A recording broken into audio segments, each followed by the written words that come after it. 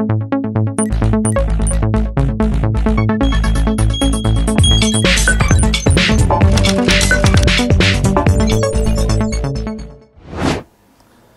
وسهلا بكم مشاهدينا الأعزاء في تقرير جديد من ايكويتي جلوبال ماركتس ومع مطلع تعاملات هذا العام الجديد. آه، تعود الأسواق مجددا إلى الحيوية ويظهر فيها بشكل كبير يعني ان صح التعبير ضعف الدولار الأمريكي أمام معظم نظرائه آه، في الأسواق ليستمر بذلك. تراجع الدولار الأمريكي مع خلال العام الماضي كاملا كان هناك ضعف وتراجع بأكثر من 9% لمؤشر الدولار الأمريكي. الآن يواصل ولكن حدة الانخفاض التي كان ينخفض فيها الدولار الأمريكي منذ مطلع تعاملات هذا آه، العام أكبر آه، آه، بعض الشيء وذلك يعطي العديد من الإشارات. لعل السبب الأبرز هو اتجاه معظم البلدان المتقدمة إلى تشديد السياسة النقدية وذلك أثر أو ثقل عند المستثمرين التوجه نحو الأسواق الاستثمارية أو الاستثمار في أسواق الأسهم إجمالا.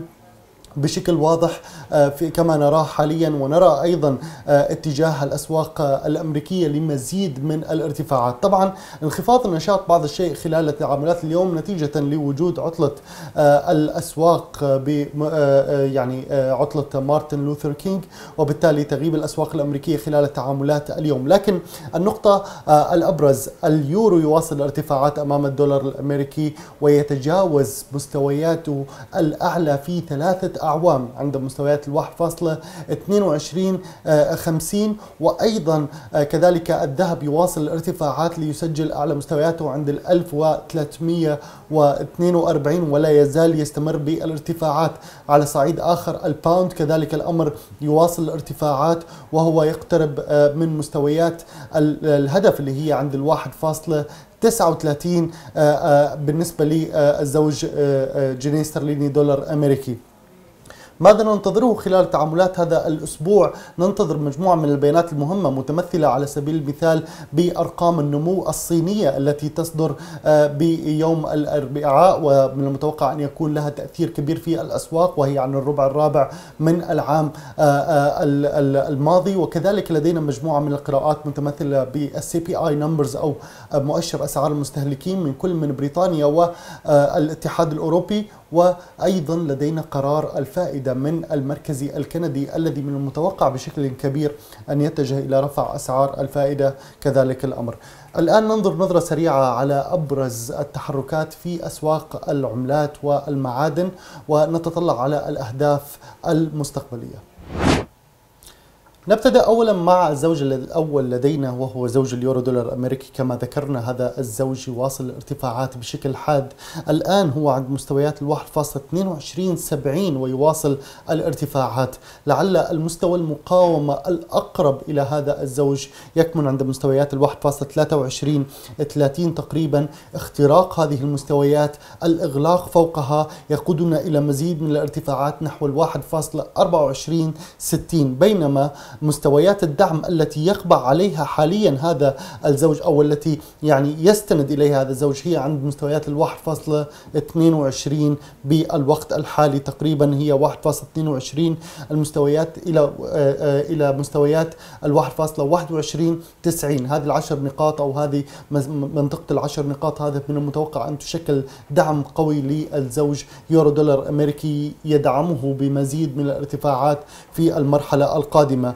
بالنسبة للباوند بعد أن كان قد خرج من القناة الهابطة بالاتجاه السفلي واللي كانت تقريبا مستويات الاختراق هي عند ال 35 60 يواصل الارتفاعات وتمكن من الارتقاء فوق مستويات المقاومة التالية التي هي عند 1.37 الآن يغلق بشكل واضح فوق مستويات ال 1.37 ويتداول عند ال 1.37 77 تقريبا.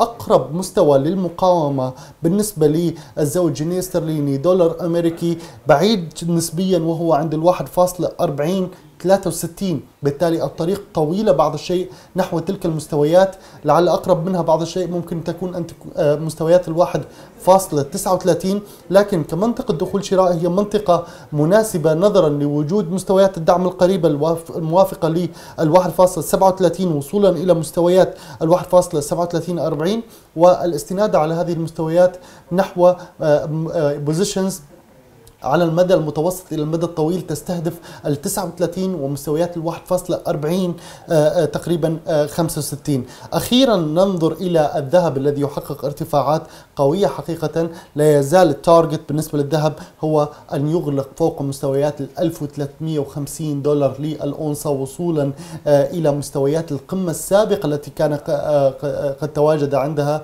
وهي تقريبا مقاربة لمستويات ال 1357 دولار للأونصة. الأونصة وصولنا إلى هذه المستويات هو نهاية رحلة آه، استهداف القمة السابقة من الضروري تأمين الأرباح عند تلك المستويات آه، والاطلاع على إمكانية أن يكون هناك ارتداد أو اختراق. بالتالي يعني آه، إجمالا حتى تتضح صورة بشكل أكبر حتى يكون لدينا مواقف دخول جديدة.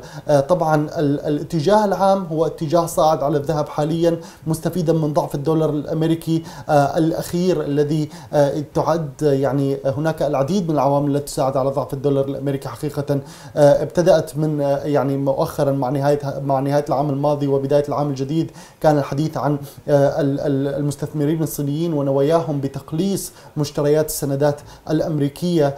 طبعا الصين التي تعتبر الدائن الأكبر للولايات المتحدة الأمريكية أي تقليص في شراء السندات الأمريكية سوف يؤثر ذلك على أداء الدولار الأمريكي وهذا تماما ما حدث حتى لو كانت المعلومات آه، أو الأخبار نوعا ما آه، إشاعات وغير آه، مثبتة بعد أن صدرت في بلومبرج لكن ذلك تأثيره حتى الآن على الأسواق موجود لأن الدولار الأمريكي المنخفض يخدم السياسات المالية لدونالد ترامب. هذه هي أبرز النقاط التي أردنا أن نلفت انتباهكم إليها. نتمنى لكم التوفيق. نراكم في الفيديوهات القادمة.